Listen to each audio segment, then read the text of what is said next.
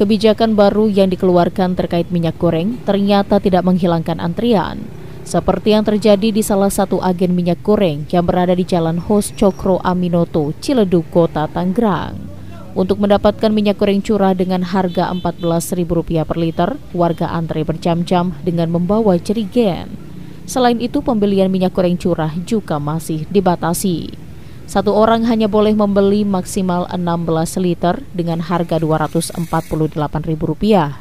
Sebagian besar warga yang mengantri merupakan pelaku usaha yang sangat membutuhkan minyak goreng seperti penjual gorengan atau penjual kerupuk.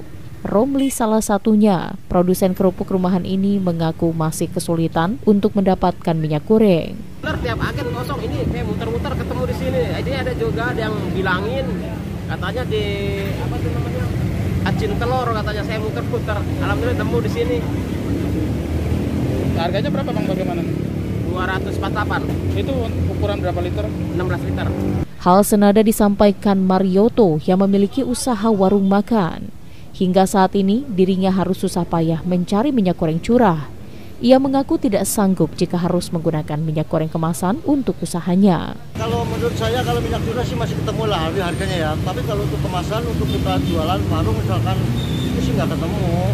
Tapi kalau minyak curah kan masih 1 liter misalkan 14 sampai 15 per liter itu masih bisa ada untung lah di warung. Tapi kalau kita pakai kemasan ya nggak.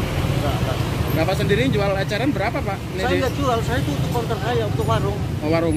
Saya warung, jadi saya nggak jual.